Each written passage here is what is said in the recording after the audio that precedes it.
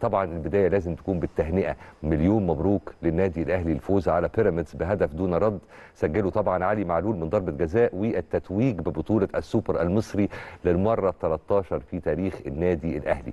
فريقنا الحقيقة قدم مباراة كبيرة جدا وقوية جدا واستحق التتويج بهذا اللقب. وقبل كل حاجة نال احترام الجميع. النادي الأهلي كالعادة هو سفير كرة القدم المصرية. هذه البطولة شهدت ظروف وتحديات كتير قوي الحقيقة والمباراة كانت صعبة للغاية أمام منافس قوي وعنيد ولكن نجحنا الحمد لله في التتويج باللقب. كالعادة بشخصية النادي الأهلي وبروح الفانيلا الحمراء وبروح الفريق. ودي المظاهر اللي دايما بتظهر في المواقف الصعبة. الأهلي دايما عنده إصرار ملحوظ على إسعاد جماهيره في كل مكان. عشان كده استحق التتويج بهذا الكأس.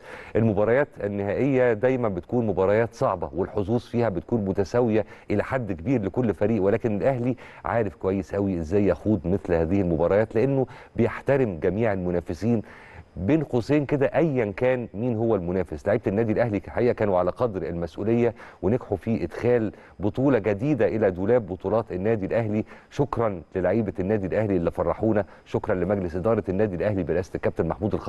اللي الحقيقة بيسعى دائما وابدا لتوفير كل ما يلزم ليس فقط لفريق كرة القدم ولكن لجميع فرق النادي الرياضية المختلفة يعني كضمان لتحقيق البطولات.